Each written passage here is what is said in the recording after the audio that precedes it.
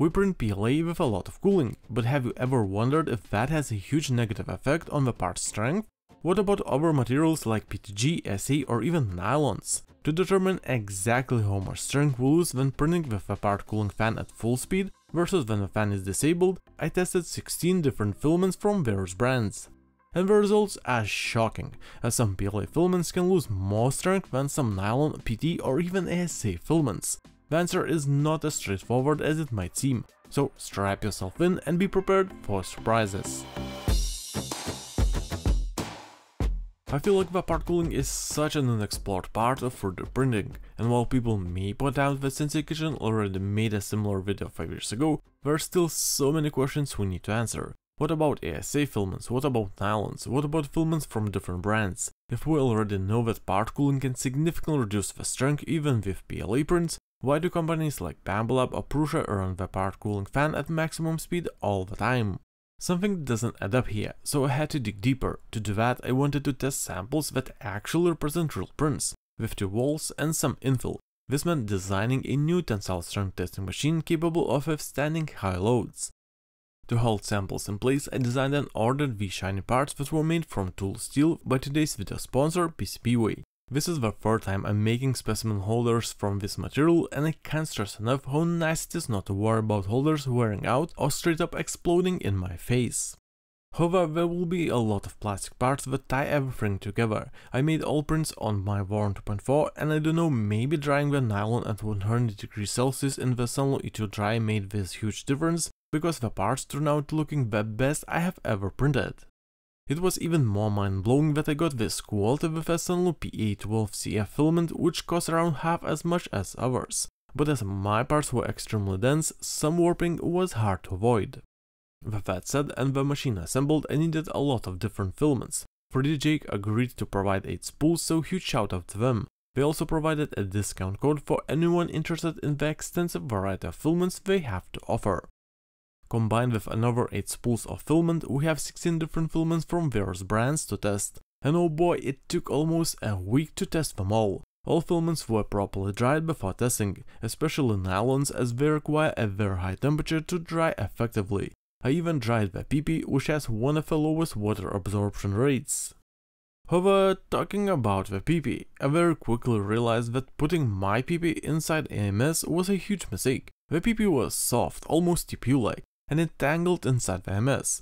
So I decided to ditch the soft PP and the silly PP jokes from this video. For those who are interested in the testing methodology, here are all the details. Pause the video if you want to read it all.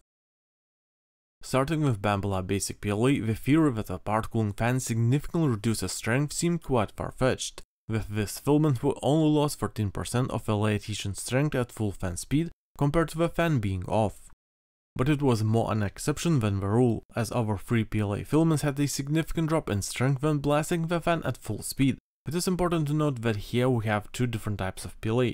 Glossy PLA usually has way better lay adhesion, and matte PLA is weaker but prints look so much better.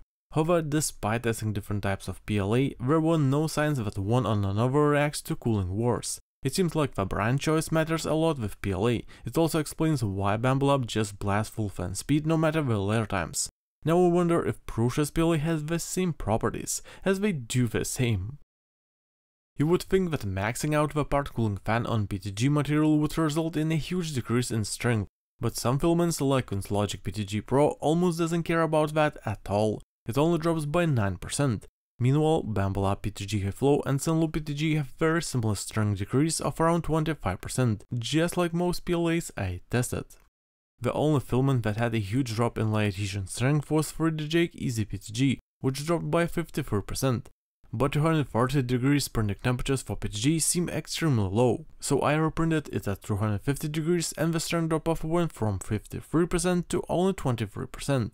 That makes it basically as strong as Bambu Lab PETG High Flow, but the increased temperature also heavily increased the glossiness of the prints. Moving to the smelly types of filaments, surely materials like ASA will suffer from the maximum fan speed. And you're right, only the Spectrum ASA filament had a negligible drop in strength of only 10%, but to be fair, it was never strong even without a fan. Bambu Lab ASA lost 40% and Polymaker with Fiberlogy both lost around 36%. I would say that for ASA and ABS, the trend of using the part cooling as little as possible is mainly confirmed. There always can be outliers like with Spectrum ASA, but it was the only filament that had issues printing without part cooling. Such defects can also mean that it doesn't have as good temperature resistance as other ASA filaments do. There's also a saying that you want to print ASA or ABS in as hot chamber as possible. To confirm that, I printed 5 samples instead of 10 to decrease the time filament has to cool down. And the results speak for themselves. The Bambu ASA we get an insane 25% better lay adhesion. So if your filament choice is ASA or ABS, the as hot as possible chamber and the lower layer times will produce way stronger prints. Moving to the nylons and PET filaments I instantly ran into an issue. That was not the clogging issue, but rather a bad design of a Fiberlogy spool that came apart during the print. If you ever need to respool the filament, there's nothing faster than a drill, some PTFE tube and this universal spool clamp print. With this issue fixed, I was expecting that a part cooling fan would destroy the adhesion of engineering filaments filled with carbon fibers. To my surprise, Polymaker's nylon and PET filaments had only 15% drop in strength. Fiberlogy PA12CF had a very similar decrease to the majority of ASA filaments of 45%, and solo adhesion drop was similar to PLA filaments of around 24%. So what is the conclusion from all this? The most important thing to take away from these results is that even running a part cooling fan at full speed doesn't automatically mean huge loss in lay adhesion strength. Nowadays filament formulas differ vastly depending on the brand, where even some nylons or PETs can be affected less by cooling them down than some PLAs. It is not a direct comparison as we print PLA with an open door and nylons and PETs in a hot enclosure, but it's still fascinating to see such results. However, for ASA and ABS filaments, using as minimal cooling as possible is still a requirement. For PLA and PETG, again it really depends on the manufacturer as some can have minimal impact while others have a way more significant one.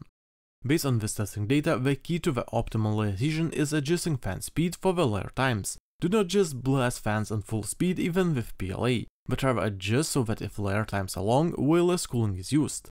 However, by doing this, now we encounter another type of downside. The part cooling fan can't just instantly spool up to high speeds for the overhangs. This is why we have to go to the printer settings and turn on the fan sooner by adjusting the fan speed up times. This might seem like the fan is always on for the outer walls, but if we slow down the print speeds, we can see that it actually starts spooling up before we reach the overhang. The only reason it looked like it was always on because when printing fast we travel way greater distance and we need to activate the fan sooner to fit into that 1 second mark. And when printing enclosed with something like ASA, nothing really changes apart from lower cooling fan speeds. I think we still should keep the fan at very low speeds as that improves the fan's pull-up times for the overhangs and it barely blows any air at those speeds anyway. So hopefully this testing data and the practical implementation of it will yield you stronger prints. Don't forget to leave a like if it was helpful. Again, huge thanks to the PCBWay for sponsoring the video, 3DJake for providing the filaments and the discount code for the viewers, thanks to all the people who support my work on YouTube or Patreon, and well, that's all from me, and we'll see you next time.